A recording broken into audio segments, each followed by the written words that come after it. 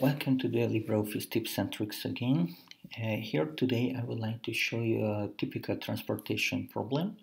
In the table you can see distances in kilometer uh, from city, from sources to destination cities. Sources are logistics centers and the destinations are the cities where we are running shops. At the end of each row, you can see a capacity number, which means uh, how many times a truck uh, can be served by the logistics center. And at the bottom of the column, uh, you can see the demand uh, of the city, how many times per year the shop would like to receive delivery trucks. The distances in kilometers are here.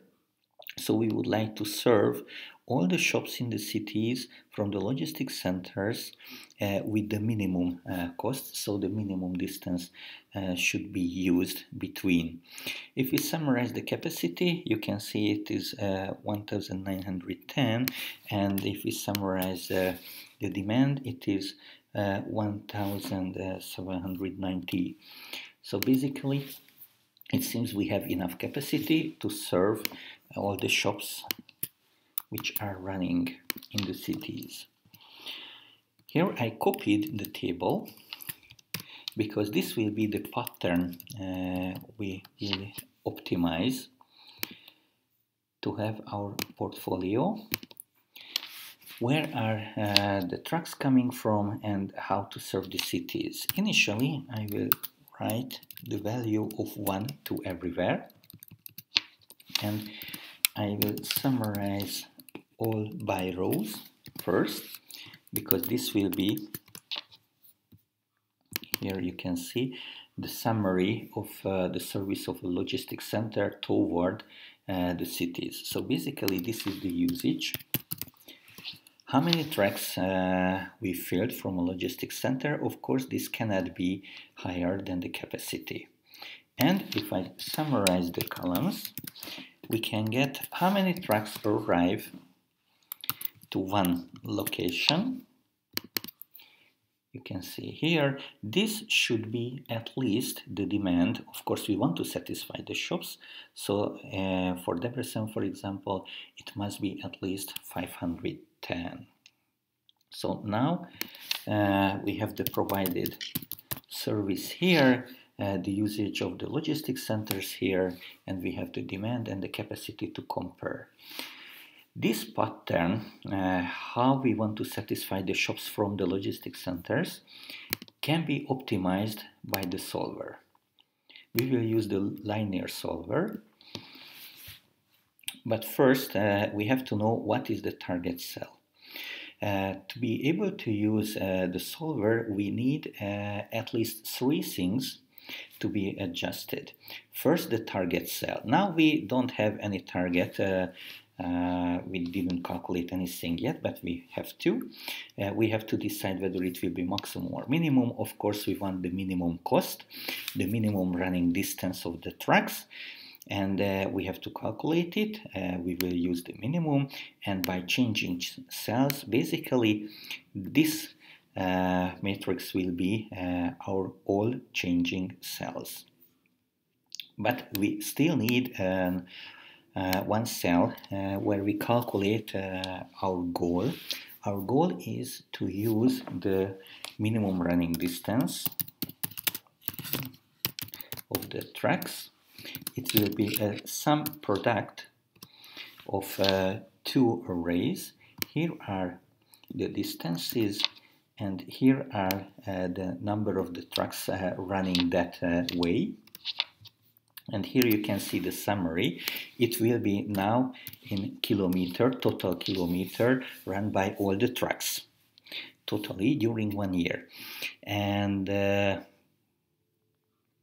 this will be our target cell. So I will calculate it with uh, highlight it with uh, red color. So now we know that we would like to have this value to the minimum. So the minimum running distance of the tracks should be while uh, we adjust uh, the number of the trucks running from city to city and uh, we have of course requirements many requirements the logistics center uh, of Biatorbágy, for example, cannot serve more tracks than uh, 540 per year. Okay, the next one uh, cannot run more than uh, serve more than 620 and the last yeah, Nyíregyháza city have the capacity of 750 okay now we are fine that uh, we know what is the maximum capacity of the logistics centers how many trucks they can serve per year okay but we have the demand of course what service uh, they need. It must be satisfied. So in our case, the calculated service will be at least the value, okay, at least 450, oh no, not that way, sorry, here, 460, and the next one, it will be higher or equal than the next one. And in Debrecen what we calculate is higher or equal than uh, the requirement. And the next one oh, the last city is Miskolc must be at least 480 so now you have seen that uh, we recorded uh, uh, basically seven limiting conditions here to find the solution, the optimum solution. Uh, our calculated uh, mm, usage of the logistics centers, how many trucks they serve per year, it uh, cannot be higher than their capacity. And on the other hand, when we see uh, how many trucks arrive to the cities, it must be at least their demand. And now if we calculate uh, the optimum, we should use the linear solver. Here you can see uh, a lot of opportunity. Of course, uh, the solution should be integer. Uh, we cannot uh, share uh, a track. Uh, basically, it is possible, but it would be nice to have one single track to travel. we cannot split the track halfway.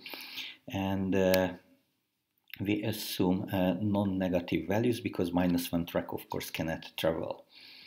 So right now we solve and I keep the result. You see that this is the uh, smallest amount of running distance of the trucks, how we can satisfy the need of uh, the shops from the logistics centers.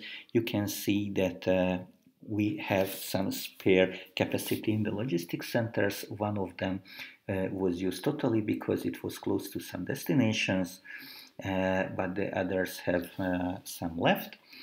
And uh, if we check uh, the demand, uh, they were completely satisfied. So we can serve all the shops. This was the target cell, the sum product of the pattern, delivery pattern, and the destinations. You can see here again how we set up the solver. The basic three things in the solver setup, the target cell is the sum product because uh, we want to minimize the running distances of the tracks. So the minimum was selected uh, by changing cells are here, marked with green, and we also recorded the limiting conditions based on the capacity and the demand. Thank you for your attention.